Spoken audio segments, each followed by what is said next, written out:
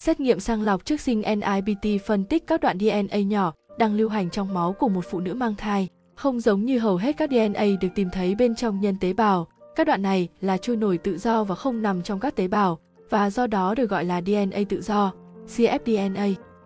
Những mảnh nhỏ này thường chứa ít hơn 200 cặp nu và được sinh ra khi các tế bào chết đi và bị phá vỡ và thành phần bên trong của chúng, bao gồm cả DNA được giải phóng vào máu. Khi mang thai, dòng máu mẹ có chứa hỗn hợp cfDNA đến từ tế bào của mẹ và tế bào từ nhau thai. Nhau thai là mô trong tử cung liên kết với thai nhi và nguồn cung cấp máu mẹ. Những tế bào này được đổ vào dòng máu mẹ trong suốt thai kỳ DNA. Trong các tế bào nhau thai thường giống hệt với DNA của thai nhi.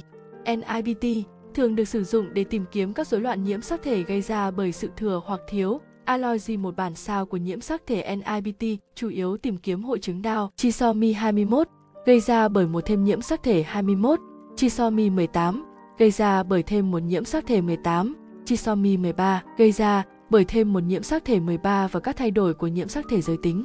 Độ chính xác của xét nghiệm thay đổi tùy theo rối loạn. NIPT được coi là không xâm lấn vì nó chỉ cần lấy máu từ người phụ nữ mang thai và không gây nguy hiểm cho thai nhi. NIPT là một xét nghiệm sàng lọc, có nghĩa là nó sẽ không đưa ra câu trả lời khẳng định về việc thai nhi có bị bệnh di chuyển hay không. Cần chuẩn bị gì trước khi làm NIPT?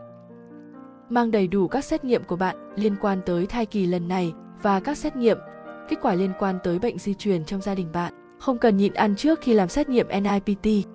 Kỹ thuật sàng lọc trước sinh không xâm lấn NIPT đang được triển khai tại Bệnh viện Phụ sản Hà Nội, mang lại cải thiện vượt trội về kết quả sàng lọc trước sinh. Chất lượng dịch vụ cao theo tiêu chuẩn khuyến cáo của Illumina giúp can thiệp sớm và hiệu quả với những thai nhi có dị tật. Phương pháp sàng lọc trước sinh không xâm lấn được coi là chìa khóa để giải mã dị tật thai nhi từ lúc tuổi thai còn rất nhỏ.